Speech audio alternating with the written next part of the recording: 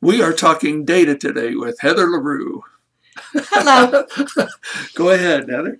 Okay, so today what we're going to do is step through what I do to prep all the data that you get from iStation and what we do to prep all the data we get from your PSI or your PASI, depending on what you're giving.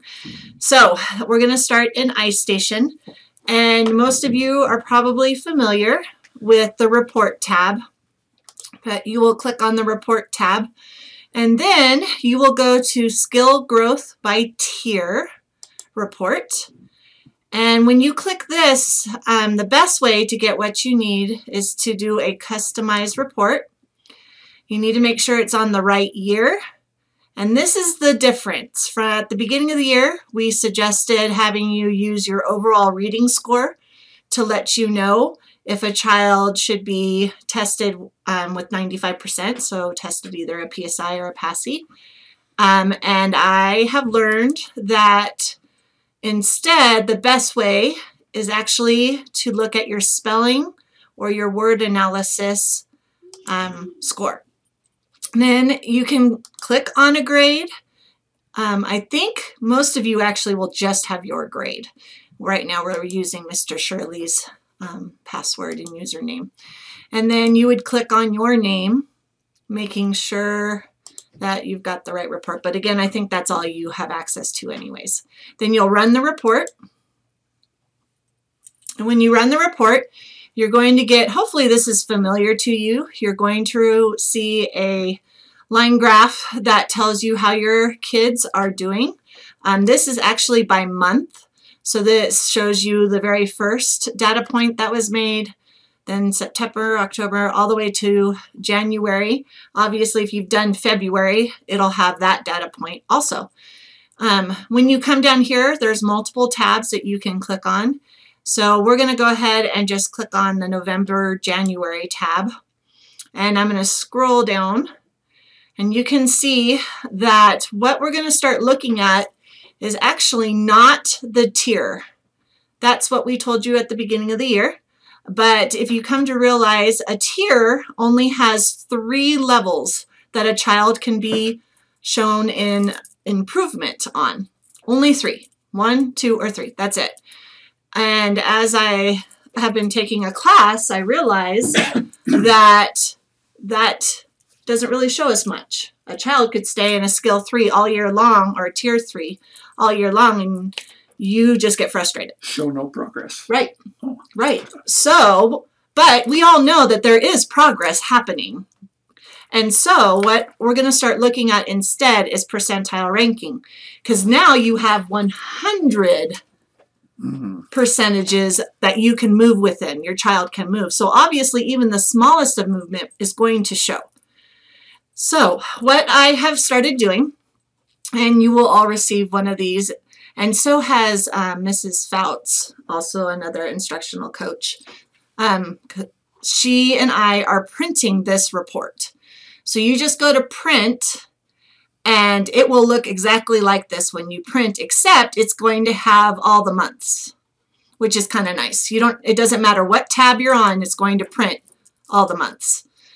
So, and then what I've been doing is looking at the percentile ranking and watching it. And obviously it's going to fluctuate depending on the child's day, if the child's having a good day, dep- depending on if the child is staying focused, depending on, I mean, there's multiple factors that could happen. So yes, it is going to go up and down, but the idea is that it stays constant, consistently going up.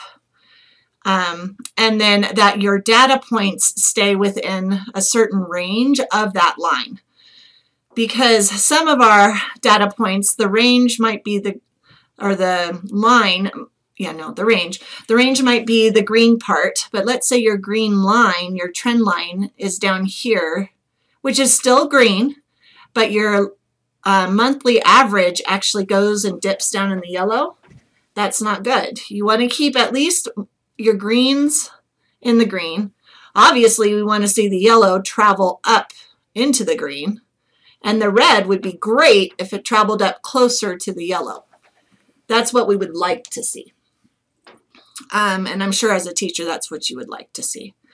So that is what, what we are using. Then obviously, depending on how they're doing with their percentile ranking, will depend will tell you whether or not they need to be PSI'd or PASI'd, depending on what grade you are. So that's what our first step. We look at the percentile ranking and we decide, you know what, this child is going down. I'm going to give them the PSI and find out why. And let's say I do give the PSI and I find a hole. Great, we're going to work on that hole and then we're going to watch the percentile ranking the next month. What if they go down again? Well, then I would go back to the PSI and I would look to see what's going on with that child because there's got to be something more. It's either attention, maybe, or it could be a bad day, or it could be attention. I think I already said that. It could be that they process differently, or they aren't trying their best, which we all know. So that's what we should do. And then what you will do is you, after you've looked at this, there is a site in your OneDrive, which hopefully everyone is aware of now.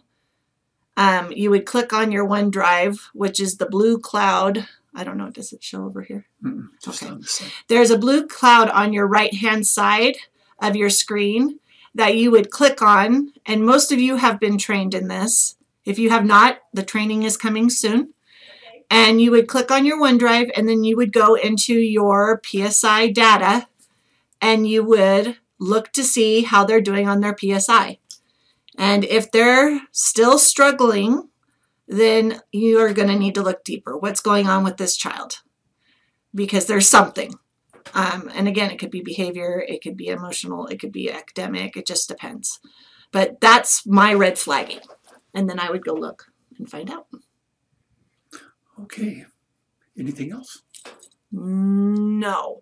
But well, this should be what you what you use when you meet in your data meetings. Um, either you've already looked and highlighted, or your coach has done that for you, or um, you didn't know about this, but now you do.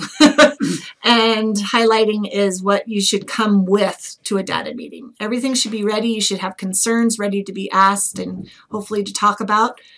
Um, not that you're going to look at the data when you arrive. You should already have looked at it and then start be ready to talk about what needs to happen for the kidlets that you're worried about. Okay. Well, thank you. You're welcome.